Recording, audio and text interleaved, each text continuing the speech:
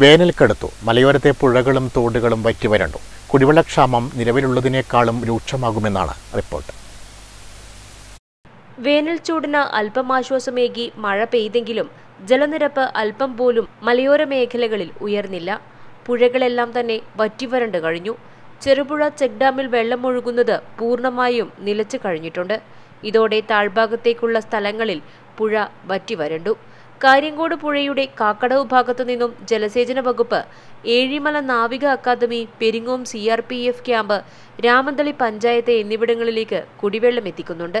വെള്ളമില്ലാതെ ആയതോടെ ഇതും ഇല്ലാതെയായി.